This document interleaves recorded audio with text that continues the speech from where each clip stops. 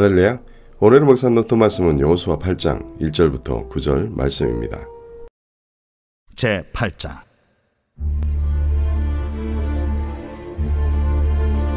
여호와께서 여호수아에게 이르시되 두려워하지 말라 놀라지 말라 군사를 다 거느리고 일어나 아이로 올라가라 보라 내가 아이 왕과 그의 백성과 그의 성읍과 그의 땅을 다 네 손에 넘겨 주었으니 너는 여리고와 그 왕에게 행한 것 같이 아이와 그 왕에게 행하되 오직 거기서 탈취할 물건과 가축은 스스로 가지라.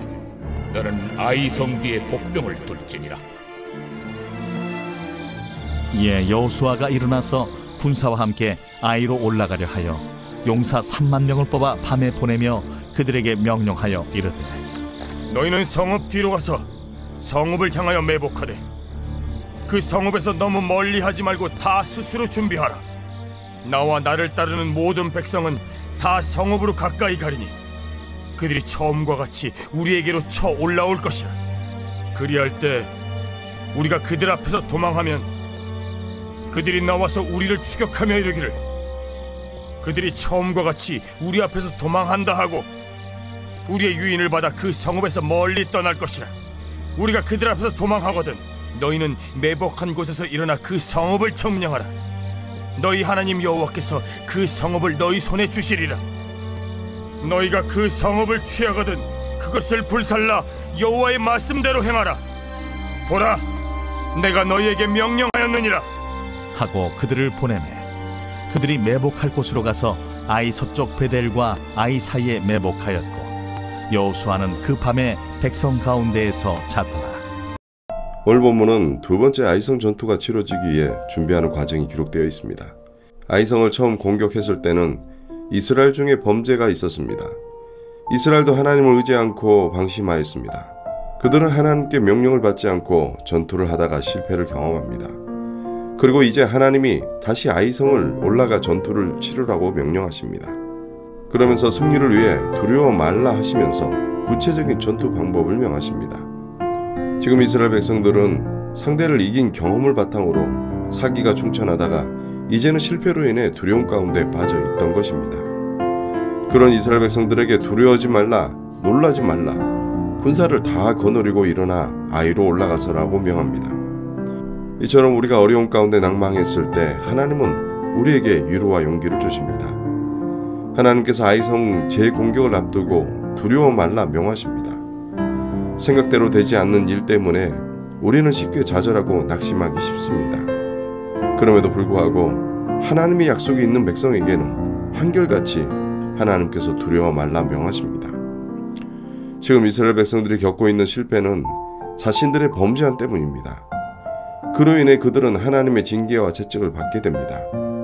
그럼에도 하나님은 다시 한번 그들에게 용기와 위로를 불어 넣어 주십니다.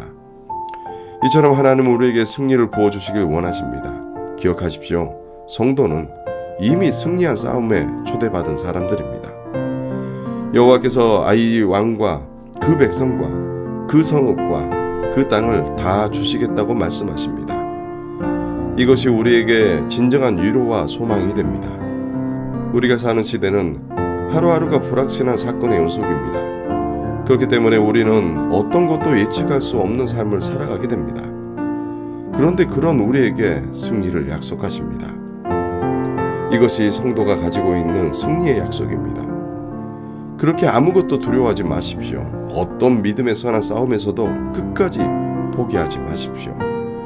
우리에게 이미 승리의 면류관이 있음을 잊지 말고 또 믿음으로 살아가길 축원합니다.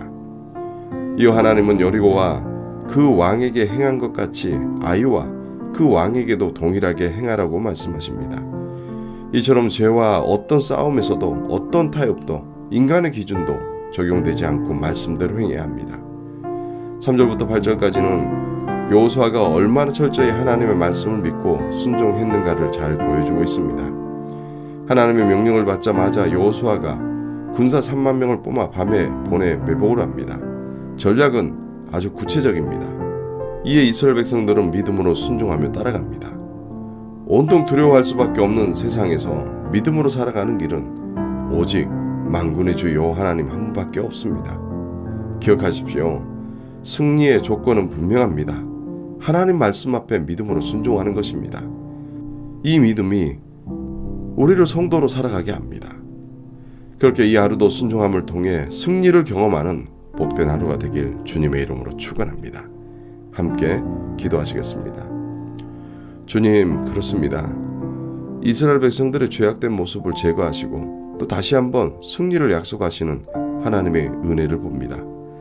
우리가 살아가는 이 땅의 삶이 하루하루 아무것도 보이지 않는 두려운 시대를 산다 할지라도 두려워하거나 놀라지 말고 오직 하나님의 약속의 말씀 의지하며 믿음으로 살아가게 하여 주시옵소서. 감사드리며 예수님의 이름으로 기도합니다. 아멘.